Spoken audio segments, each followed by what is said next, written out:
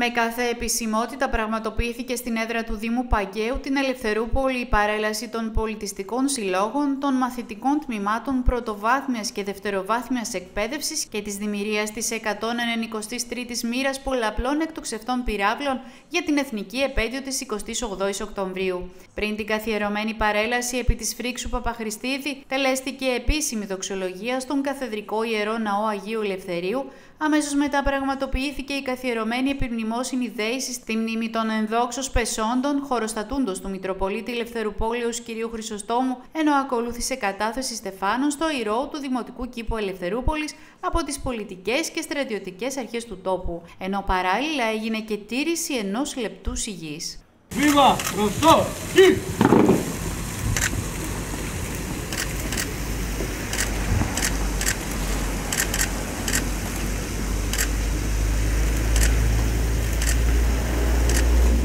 μακεδονικού αγώνα, αλλιώ αξιωματικού πολεμιστού των Βαλκανικών και Μακεδονικών αγώνων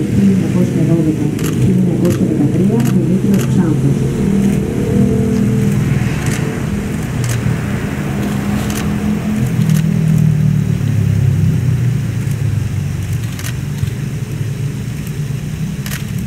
Τρίτο Δημοτικό Σχολείο Ελευθερούπολης.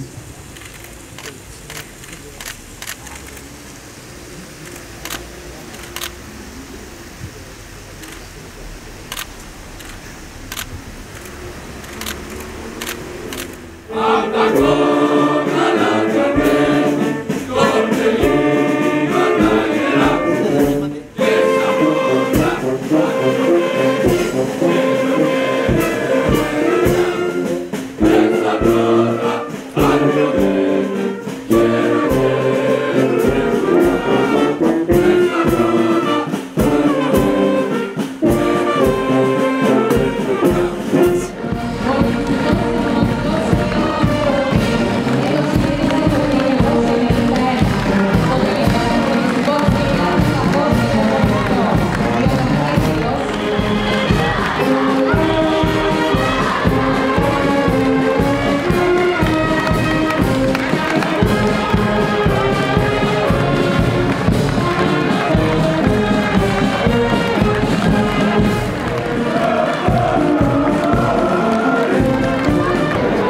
εύχομαι σε εσάς, σε όλους τους τηλεθεατάς σας, χρόνια πολλά και ευλογημένα και θεάρεστα.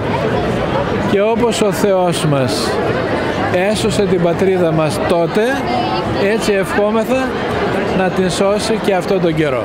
Ο Πρωθυπουργός της Νίκης των χωρών και των ανθρώπων της ελευθερίας, ο Ίστον Τσότσιλ, ήταν πολύ εύκολο να πει ότι σήμερα θα λέμε ότι όχι οι Έλληνες πολεμούν ως ήρωες, αλλά ως οι ήρωες ως Έλληνες. Σίγουρα έχοντας όλα αυτά τα ακούσματα μπορούμε ε, να είμαστε ε, ιδιαίτερα προσεκτικοί στη στάση μας, στη συμπεριφορά μας και ως αιρετοί αλλά και άνθρωποι οι οποίοι ε, ασκούμε και διοίκηση. Είμαστε υποχρεωμένοι να μεταφέρουμε μηνύματα ε, εθνικοφροσύνης, να το πω έτσι, προς όλους τους νεότερους. Ευχηθώ χρόνια πολλά σε όλους τους Έλληνες, σε όλους τους συμπολίτες μας.